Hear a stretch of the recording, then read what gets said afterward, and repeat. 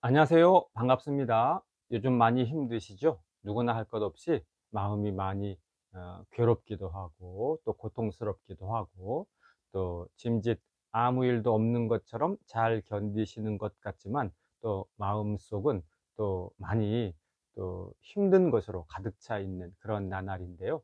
게다가 또 장마가 지고 또 전국적으로 이제 이 비가 오면서 어떤 지역은 또 물난리가 생기고 그래서 그런 지역에 계신 분들은 또 더더욱 힘들이라 힘드시리라 생각을 합니다.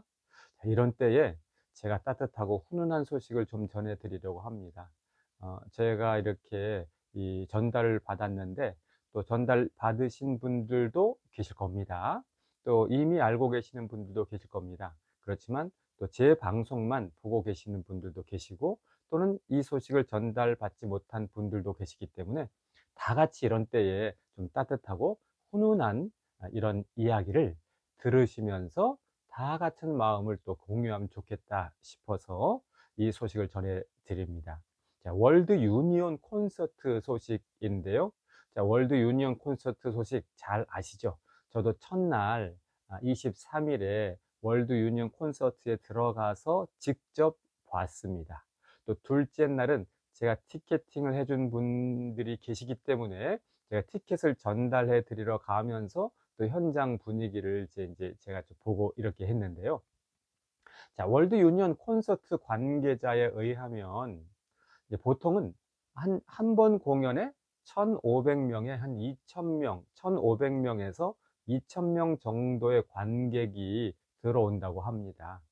어, 이 정도 관객은 뭐냐면 보통 이제 클래식 콘서트 이 장이 한 이제 한 2,000명 2,000명 정도의 인원을 수용을 하니까 클래식 콘서트 장소에 맞게 뭐 1,500명에서 2,000명, 많으면 한 2,500명 아, 또는 더 많으면 한 3,000명 되는데 어쨌든 한 2,000명 전후의 인원으로 보통 이제 이 공연을 한다고 합니다.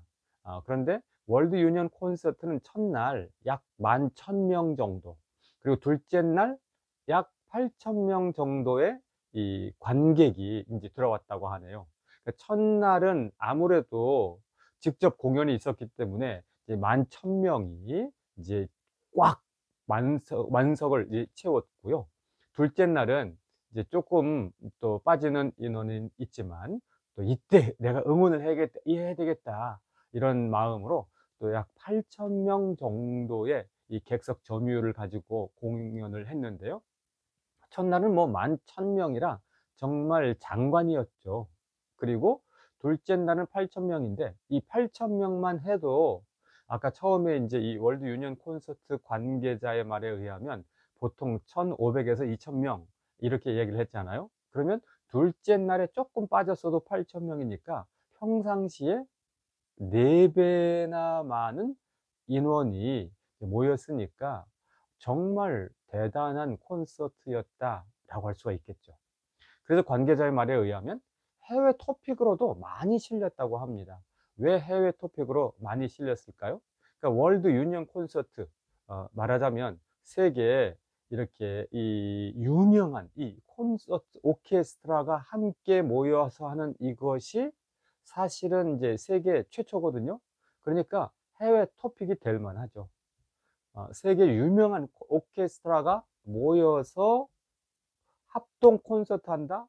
토픽이 되는데 그때 뭐 1500에서 2000명 정도 콘서트를 하던 이런 콘서트에서 뭐 11,000명, 8,000명 이렇게 모이니까 그야말로 해외 토픽이 될 만한 뉴스감이다. 해외 토픽감이다. 이렇게 이야기를 할 수가 있겠죠. 관계자가 월드 유니언 콘서트 관계자가 솔직한 마음도 전했습니다. 공연 며칠 앞두고 예상치 못한 이 사고가 생겨서 아, 잠도 못 자고 걱정도 되고 너무너무 힘들었다. 그런데 23일 날 딱 콘서트가 시작되면서 노래가 시작되는데 아 정말 감탄했고 감동을 받았다 라고 이렇게 얘기를 하네요.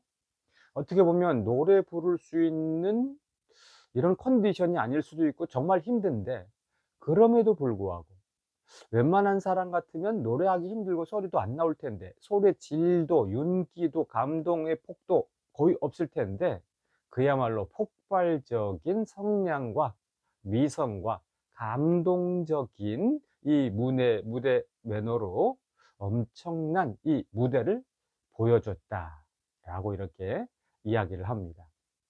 무엇보다도 이 팬들의 열광적인 환호성. 아 정말 대단했다고 전해줬는데 저 그거 이해합니다.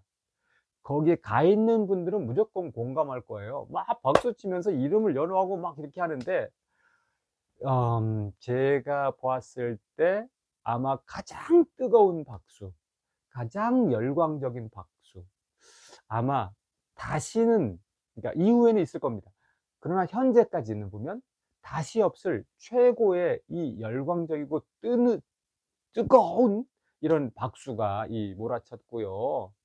그 연호가 그냥 쉬지 않고 계속 경랑처럼 파도처럼 풍랑처럼 와 몰아치는데 정말 대단했죠. 아마 관계자들도 정말 놀랐을 겁니다.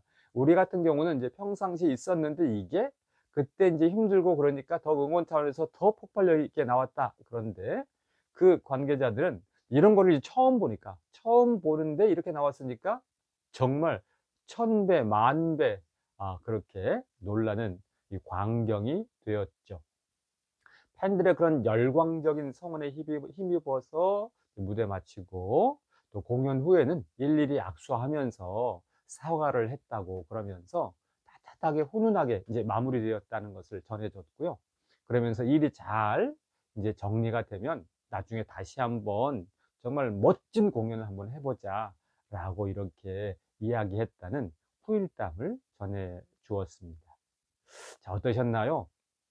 저도 이 소식을 딱 전해 들었을 때 가슴이 뛰고 훈훈하고 따뜻했는데요. 아마 그 당시에 들었을 때보다 지금 들을 때 더 감동이지 않나 싶습니다. 그래서 가끔씩 미담을 전해드리곤 했는데 마치 콘서트 미담, 감동 미담 그럼에도 불구하고 이런 감동이 있었다라는 대감동 미담 자 이렇게 이야기할 수도 있겠네요. 자 힘든 시기에 이렇게 감동적이고 훈훈하고 따뜻한 소식 함께 들으시면서 잘 힘든 시기 극복해 나가시기를 바라겠고 또 이럴수록 건강 잘 챙기시면서 하루하루 어, 더욱더 힘있게 그렇게 잘 살아가셔야 또 지내셔야 되겠습니다. 자, 월드 유니언 콘서트 감동적이고 훈훈하고 따뜻, 따뜻한 소식을 전해드렸습니다. 들어주셔서 감사합니다. 고맙습니다.